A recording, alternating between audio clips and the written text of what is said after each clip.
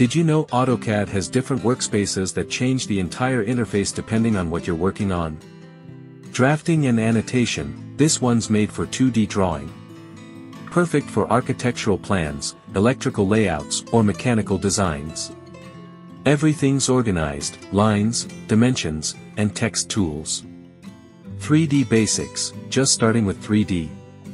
This workspace gives you simple tools like boxes, spheres, and extrusion. Great for learning how to build in 3D. 3D modeling, now we're talking serious design. Advanced solid modeling, surface tools, and realistic views. This one's for the pros working on complex 3D projects.